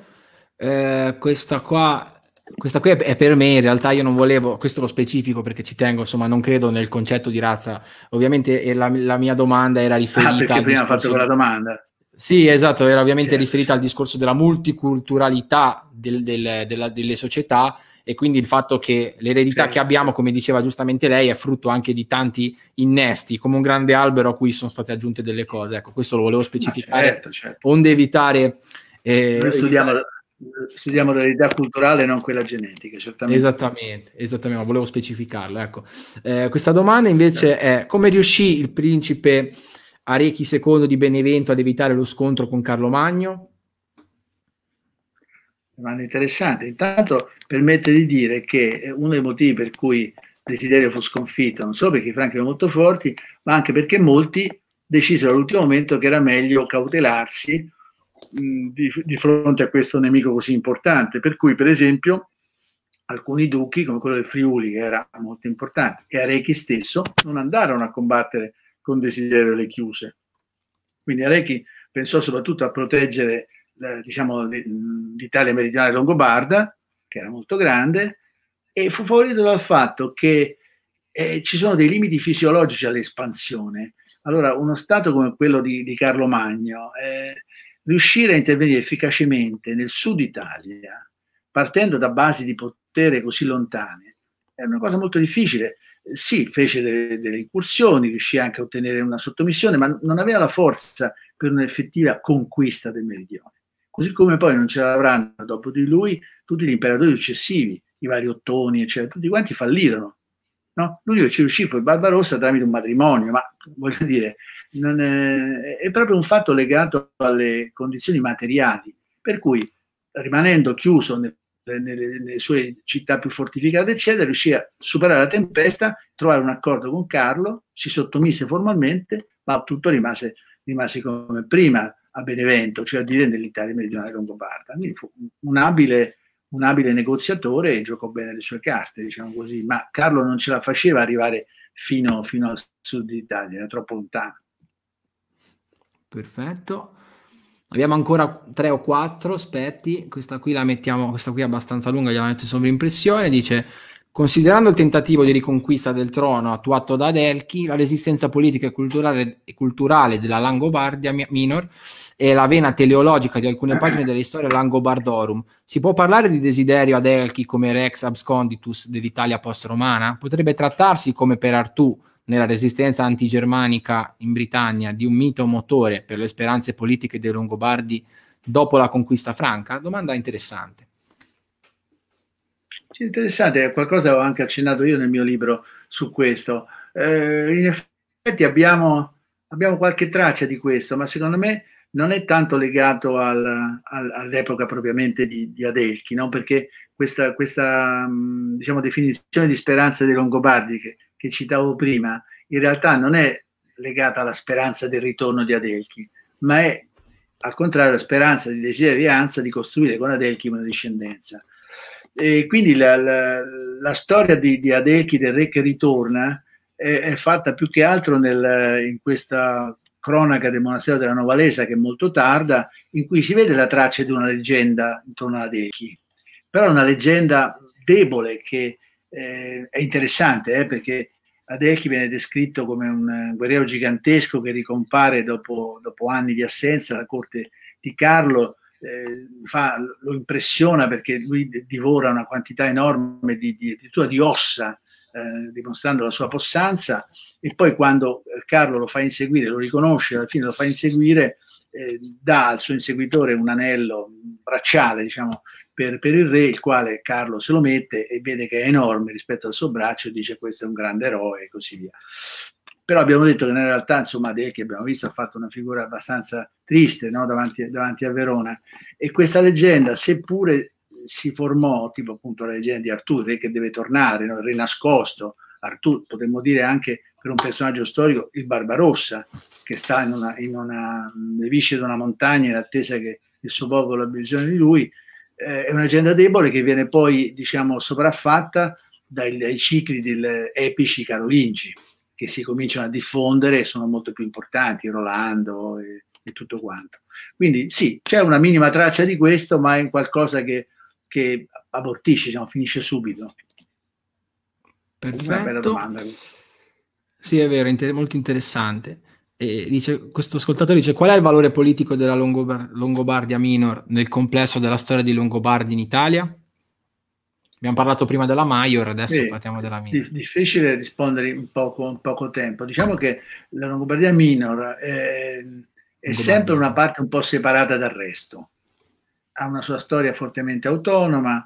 Il, il duca, poi diventerà principe dopo la caduta del regno, il duca eh, gestisce le leggi al posto del re, cioè quello che nelle leggi c'è scritto che fa il re, lì lo fa il duca, per dire, no? Quindi è una specie di principato semi-autonomo che in certe condizioni poi fu anche in grado di eh, arrivare a occupare il trono, il trono di Pavia, per esempio con Grimoaldo.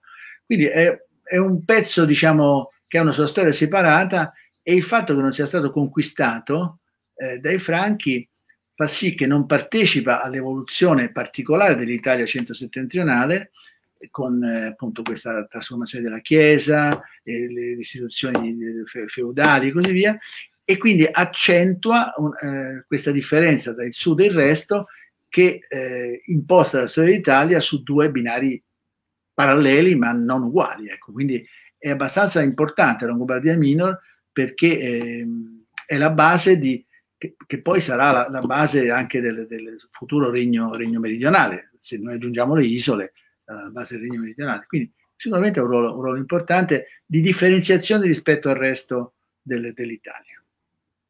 Perfetto. Professore, se lei mi dà il, il, benestare, io procederei, visto che ce ne sono Quante ancora, ce n'è ancora, ce n'è ancora qualcuno. Ce ne sono ancora quattro. Beh, se, se, per non tenerla troppo. Qui, eh. Le facciamo tutte e quattro. Basta che non Perfetto. arrivino altri. Chiudiamo... No, no, no, no le, ci fermiamo quattro, qua, ci fermiamo qua. Queste quattro le rispondiamo perfetto. tutte, perché mai no? Certo, perfetto. Allora, ecco qua, questa è abbastanza lunga. Dice, il professore ha affermato che le sepolture non possono aiutare più di tanto nella ricostruzione storiografica. Partendo da questo punto viene meno la tesi di un nostro ascoltatore prima del doppio arrivo in momenti differenti dei Longobardi in Italia e lo stanziamento di questi in alcune zone dell'Italia meridionale, prima del 568 in seguito alle scorrerie di Leutari e Buccellino, avvenuto nel corso della guerra greco-gotica. Quali, quali, se presenti, sono le possibilità che ci fossero dei Longobardi? Poi adesso non ci aiuta. Ho capito, il... però, ho capito adesso la, la, domanda forse è un po' confusa, capita a quest'ora, ehm, però non c'entra niente. Cioè, il fatto che le sepolture non aiutino nel, nel, eh, più di tanto insomma nell'identificare le culture barbariche non c'entra con la tesi di Bognetti che non è un ascoltatore ma è, è sicuramente Giampiero Bognetti grande storico dei Longobardi il quale ha affermato una cosa eh, ah ok molto, mi, molto... sono confuso, mi sono confuso certo, certo. Scusa, su questo omonimia tra l'ascoltatore scusi. è una cosa molto molto ipotetica come, come la maggior parte delle tesi di Bognetti che però in questo caso mi sembra giusta ma non si collega tanto a Leutari e, e Buccellino. Cioè lui ha eh, sostenuto la tesi che i, i, ducati di Spoleto e Benevento non derivino diciamo, da una discesa dal nord al sud delle, degli eserciti alboino e, e, compagnia, ma derivino invece dall'insediamento eh, sia a Spoleto che a Benevento di gruppi di Longobardi che erano rimasti nell'area bizantina a combattere come federati probabilmente in Oriente, che erano stati messi dai bizantini stessi in Italia in funzione anti-alboino e che poi nel corso delle confuse vicende di questo periodo si sono resi autonomi e avevano costruito questi nuclei a Spoleto e Benevento che successivamente furono uniti al Regno. Questa è l'ipotesi di, di Bognetti, non ci sono le prove oggettive di questo, tranne qualche vaghissimo accenno, a me sembrano piuttosto, piuttosto plausibili, ma non c'entra quel rapporto dell'archeologia. Perfetto. Ecco qua l'altra domanda, dice, mm, questa ascoltatrice dice buona parte dei germanismi presenti nella lingua italiana oltre all'onomastica sono chiaramente dei langobardismi. Si tratta di un lessico della quotidiani- quotidianità delle arti e dei mestieri, una chiara evidenza dell'integrazione venuta dal basso fra, Longobardi, fra Langobardi e Italici? Ma direi che questo lo, lo, possiamo sicuramente affermare. Moltissimi di questi termini sono legati per esempio alla lavorazione del legno, eh, che evidentemente era una, una capacità artigianale che, che, costoro si portavano appresso dalla Pannonia, mentre invece la lavorazione de, della pietra era sicuramente una capacità dei, dei, maestri, dei maestri locali. Quindi questo si può affermare. Bisogna dire che è un po' difficile tante volte distinguere le parole di origine longobarda da quelle di, altre lingue, eh, diciamo, germaniche, ma sicuramente ce ne sono molte, alcune centinaia credo, non sono un esperto da questo punto di vista e, e, sicuramente può essere un discorso dell'integrazione dal basso, perché sicuramente è un'integrazione venuta esattamente a livello basso, medio della società, insomma, quindi sicuramente è una cosa giusta questa che dice questa signora o signorina. Perfetto. Eh, ecco qua l'altra domanda. Dice: Buonasera, questa è un po' più lunga, però penso che il, penso che il, il senso si capisca da, da, quello che riusciamo a vedere. Eh, buonasera, egregio professor Gaspari. Ho avuto il piacere e l'occasione di leggere ambedue i saggi storici magistrali citati da me. In questo caso abbiamo, abbiamo già mostrati. A tal riguardo vorrei chiedere: nelle istituzioni militari longobarde vi sono state influenze significative negli armamenti e nelle tattiche da parte delle potenze affrontate? Nella fattispecie l'esercito esarcale o le orde carolinge, carolinge che hanno apportato modifiche all'esercito longobardo?